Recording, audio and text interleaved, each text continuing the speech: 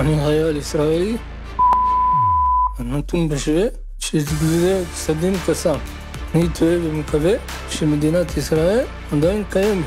אין כן, אני טועה, ושנית, האם מנהיגי המדינה חושבים החיילי השבויים, דואגים להם, הרי אמורים על שחרורם. אינני מת כל יום מחדש. חיים אינני ומרגיש רק תקווה להיות בקרוב ויחיד כמשפחה בועמת ולילית.